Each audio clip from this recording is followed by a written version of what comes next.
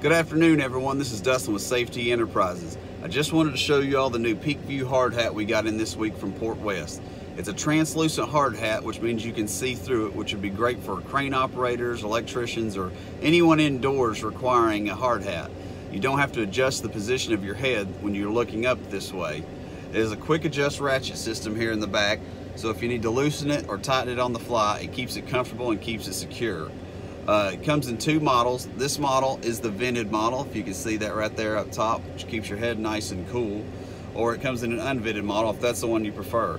It's uh, We've got an assortment of colors, so if you want to go online, just click the link below and check us out. And uh, remember, everyone have a great day and stay safe.